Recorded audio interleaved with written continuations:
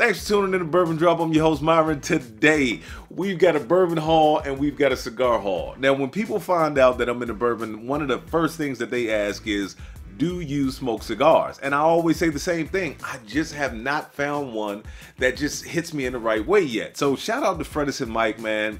They were out on the job site that I visited, and both of them made recommendations. They both said the Bellas Artis uh, Maduro. And I, I said, look, I've dibbled and dabbled in cigars over the years. I kind of like my cigars the same way I like my bourbon, robust, thick, rich, and that is what they recommended. And since they recommended that cigar, man, it has been going down the rabbit hole ever since. So shout out to them guys. And anyway, I want to get into the bourbons that I got. I've got some excellent videos coming up in the future.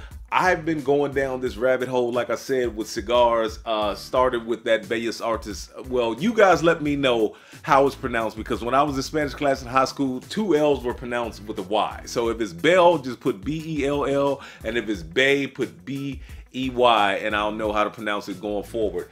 But uh, first bottle on the list is a single barrel Mackenzie.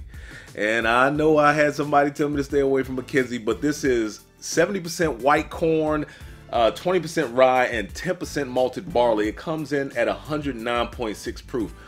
I'm I'm I am a sucker for store picks, but sometimes single barrels too. And when I saw this thing, especially being seven years old, I had to pick it up. I had to pick it up and get it on the channel. So this is one of the first bottles in the uh, bottle haul side of it.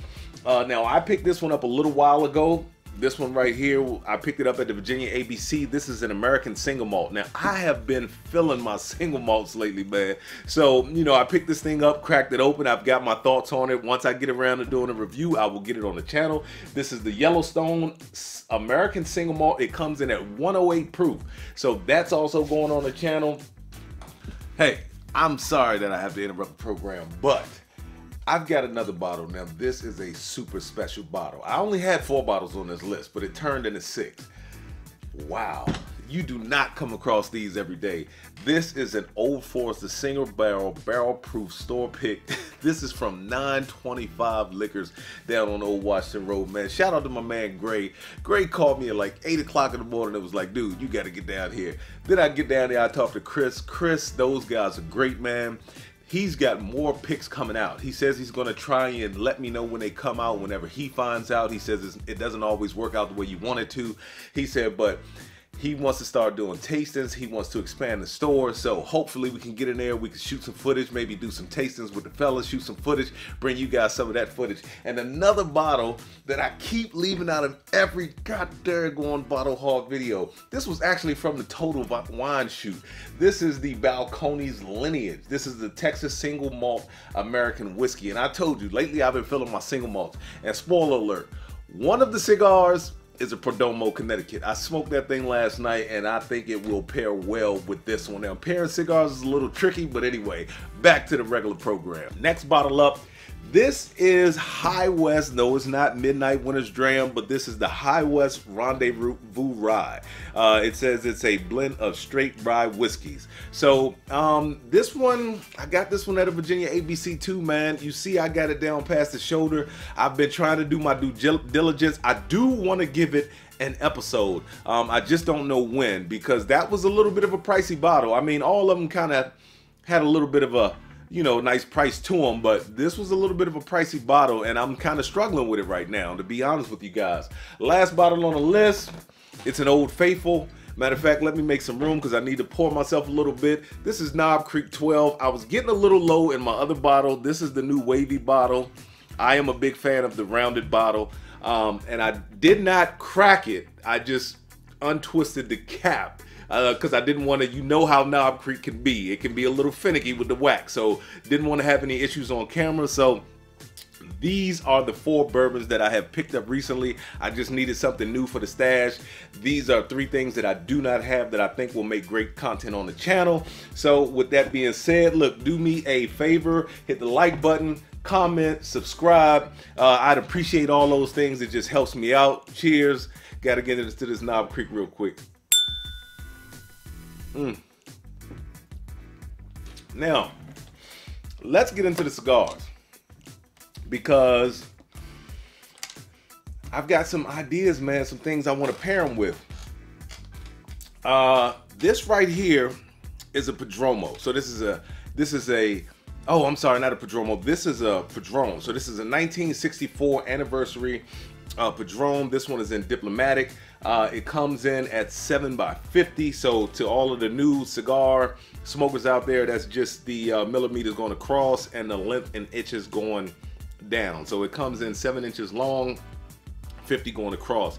Uh, I really have enjoyed this one. The first one I had was in Candlestick. That thing was amazing. This is an Oliva V. This thing was really rich. I really enjoyed it. This is the 135th anniversary. Uh, can't wait to get this thing on the channel. I paired this with something that I thought was went really well with this cigar. And uh, yeah, I just can't wait to get into that cigar. I mean, it's I'm just telling you guys, the pairings that I've been putting together, I've really had fun doing. They're not always great. Sometimes I have to run through quite a few and sometimes I get it right on the first try. And I'll go over that in some of the videos that I do. So let me let you guys let me know if this is something that you're interested in seeing because I do have a couple of episodes that I want to shoot. So if this is something that you're interested in, I will I will definitely get more of those things uh, put together for you. Now this right here, this is a nub. Uh, this one I picked up because I've never had nub, heard good things about them and read good things about them.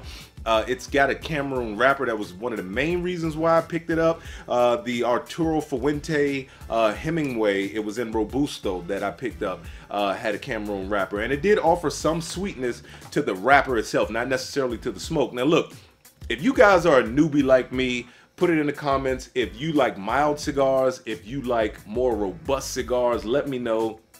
Most of the cigars that I'll be re be reviewing will be medium to uh, full or you know just slightly more on that robust side of things. Um, let's get into the next one. So this is one that I have not had before. This is a Perdomo Habano. This one is the Connecticut. So this is the Connecticut shade, which is a little lighter. It's supposed to be a really, really mild to medium cigar. It's supposed to be really flavorful and really good. This is uh, the same cigar but in more of a medium profile. This one is a Perdomo Habano but it is sun grown uh, so we'll get into that one. This one right here is one of my favorites man. This one right here it's Drew Estates uh, Maduro and it is it is excellent. This is so good that I did not want to put it out the other day. And if you are like me and you've dibbled and dabbled in the world of cigars. And not all cigars pair with bourbon. And I'll be honest with you, most of the bourbons that I drink, if I put a cigar with it, they tend to taste the same. Even though they taste totally different on their own, when I pair with a cigar, the char in the cigar just pretty much makes them all taste the same. You've got to find some special pairings, and I believe I've got some special pairings for you guys, so stay tuned. Uh, this was, like I said, the uh, Drew Estates Maduro. Um, what else do we have here? We've got an Arturo Fuente. This is the double Chateau Fuente. I can't wait to get this thing, uh, get it smoked. This one, it's got, it comes with a cedar wrapper. Uh, hopefully it stays moist for me. This humidor, I've never had one before. It seems to be doing well. I mean, it's got the little uh, humidifying stick in it, so I hope that one, you know, does well for me. This I haven't had yet. This one is the Drew Estates, but this is the 10th anniversary. Now, this one is supposed to be a little more robust, where this one is more medium plus. This one is supposed to be medium plus more towards the full side of things with a little more spice. And this is the 10th anniversary Drew Estates, like I said. Uh, we've got... Um, We've got a Perez Carrillo. This is the Encore Majestic. This actually was number one cigar in 2018, rated a 96. This one is supposed to be a very, very good mild cigar. Can't wait to get that thing lit. This is the uh, Carrillo, Perez Carrillo Pledge. Now, this thing won number one cigar in 2020 from Cigar Aficionado with a 98 rating. And this is the Robusto 5x50. So I can't wait to get that thing lit too.